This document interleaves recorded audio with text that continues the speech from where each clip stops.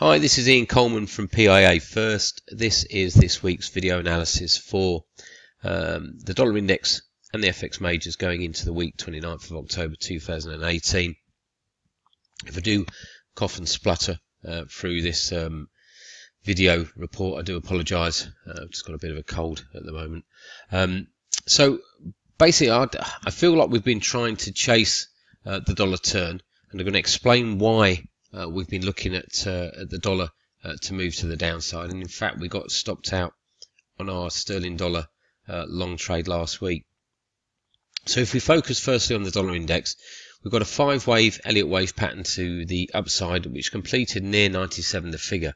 Now, that should dictate that we then get uh, a choppy, volatile correction uh, to the downside, normally in an AB uh, CD pattern.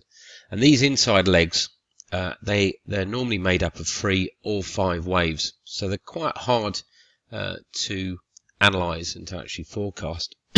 if we look here, we can see one, two, three, that inside leg, and then one, two, three, again the inside leg to the upside. Potentials also of a double top formation around about 97 the figure. And we've got a bearish engulfing candle uh, from Friday, uh, which uh, uh sometimes highlights the top of the trend. So we're looking for that leg now to the downside, that bearish leg in the dollar index, and we're going to reflect that back onto our FX majors. And it's quite interesting because a few of these FX majors have highlighted patterns that do look uh, like they are also uh, looking to turn. And we're going to explain and uh, and show you what uh, what we're seeing this week. So let's go to euro dollar to start with. Um, excuse me.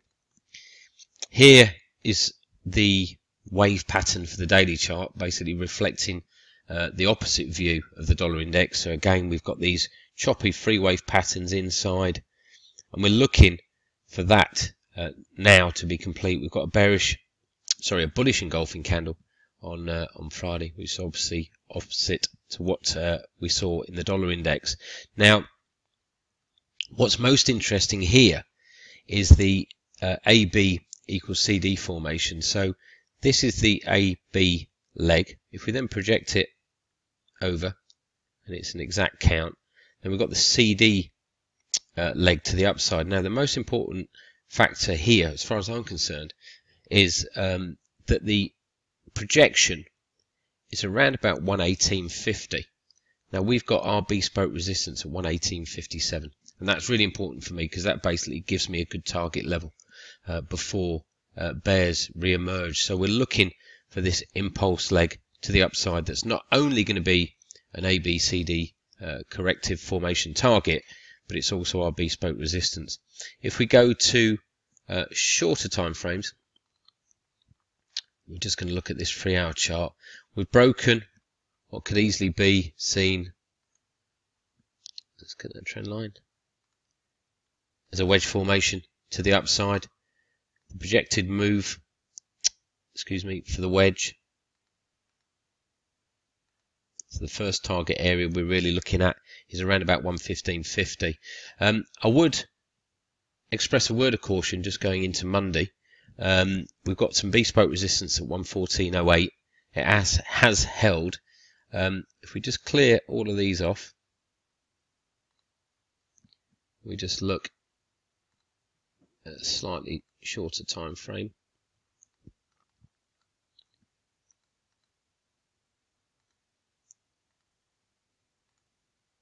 Okay, we could form a um, a bullish uh, reverse head and shoulders early on uh, early on Friday. So this being a left shoulder, this then forming the neckline, head, neckline again, down in right shoulder, and then a break to the upside. Um, fib retracement tool. Notes 78.6% down here. So basically what I'm saying is the the outlook is bullish, but I think we've definitely got scope uh, for buying into dips uh, early on Monday. Sterling dollar. Um, this time frame I think is very important. We've got the completion of a Elliott wave, five wave pattern, one, two, uh, correction in free fall, close to the 61.8% extension level, and then down to 261.8%. really needs to be confirmed with a break of 129.11. Uh, however, we've also got this. This is a symmetrical pattern. It looks like a bullish Gartley. So we've basically got a 127.2% extension and a 78.6% pullback level. This is a confluence area. We have seen dip buying around there. So this is quite a strong bullish uh, formation uh, for sterling dollar.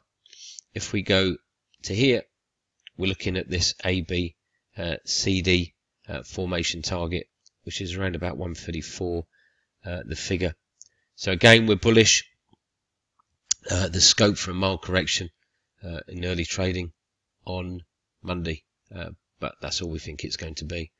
Um, dollar Swiss, and here we've got a reverse count, five waves to the downside, and then a very impulsive move to the upside. Um, levels around about uh, the one big figure have uh, found sellers. We've got a bearish engulfing candle from Friday, obviously mirroring what happened in the dollar index. Uh, we've also got uh, another um, indicator, if you like, which uh, highlights the end of a trend, and that's called a DeMark 13 count, and that's on the daily chart. So we are looking still for a move to the downside in the dollar index. Uh, we've got a previous swing low around about here, and We've got uh, bespoke support at 98.57. So that's going to be our first target area. We could then see a bounce and a period of consolidation as perhaps we form uh, a topping formation, a head and shoulders. But at the moment, our focus here is uh, around about 98.60. Now, dollar yen, um, we are short. We had an evening uh, doji star uh, pattern posted on the uh, weekly chart. We've got reverse trendline support coming in around about 110.36. What I don't like, um, I'm going to highlight it here, is this um, is this time frame. So we've got the impulse move to the downside, five waves. Uh, we then moved higher, but we only made, uh, or we only got to 38.2% pullback level for the correction. Now, first wave corrections are normally stronger uh, than that. And we're also, that dip buying on Friday below the previous uh, low has formed um, some bullish divergence on this four hour chart. So I'm still skeptical, if you like, um, of follow through price action in dollar yen. Um, and I'd really only prefer to sell into um, higher levels uh, in uh, this uh, this pair uh, going into next week. Um, dollar CAD, this is one I particularly like to the downside, and we're going to try and get short uh, early next week. We've got this wedge formation. Um, we have seen sort of four weeks of net gains. However, uh, an indecisive doji uh, candle. We had the Bank of Canada last week. Uh, indecisive uh, doji candle, which highlights indecision. We've got reverse trendline resistance at 132.22. But I think this time frame is really important. Um, we've got a bearish engulfing candle, which is stronger than a, which is actually a bearish engulfing outside candle. So it takes out one, two, three previous uh, four hours or 12 hours worth of price action. And it shows you how strong uh, that impulsive move to the downside is.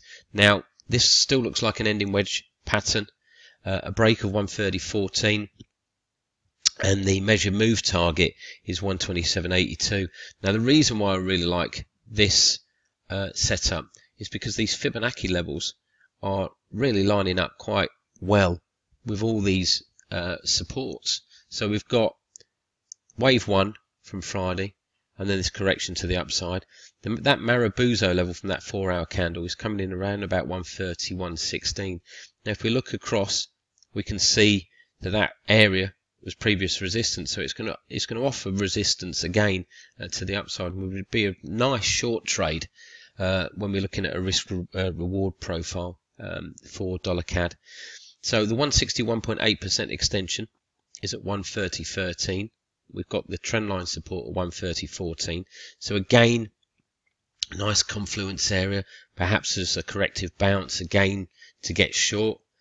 261.8 at 129.22. Let's swing it to the left hand side again. An area of support, so perhaps a mild bounce there.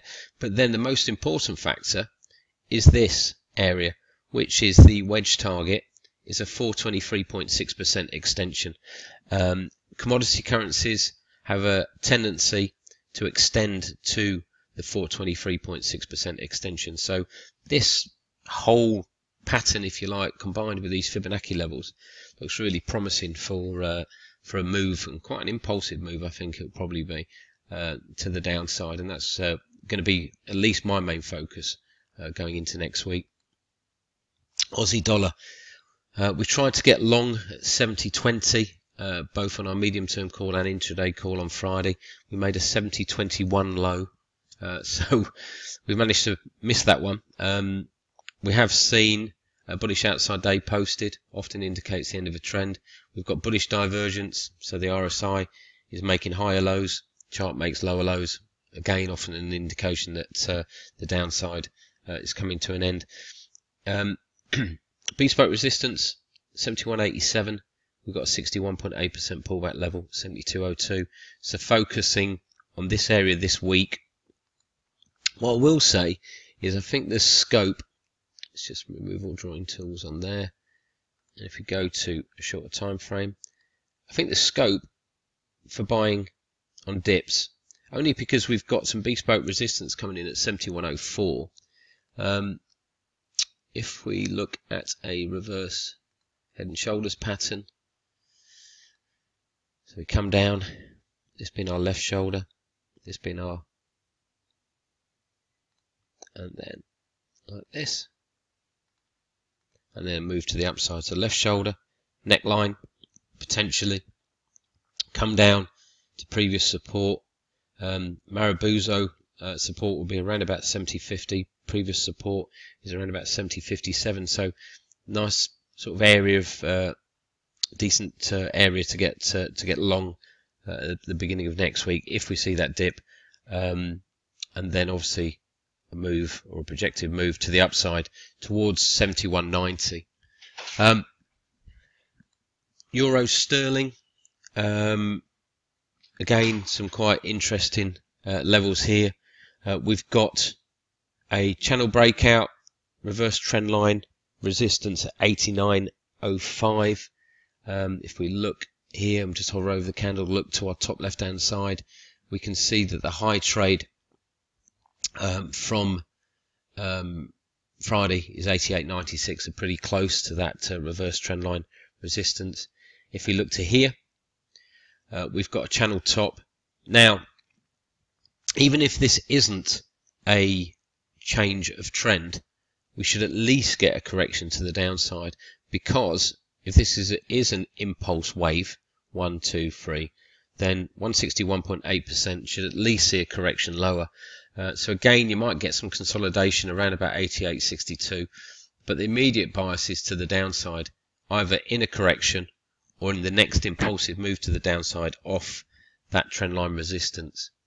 Um, Euro yen, this is our last one that we're going to look at. We've got uh, a hammer, inverted hammer uh, formation uh, off the daily chart. We've also got a symmetrical pattern.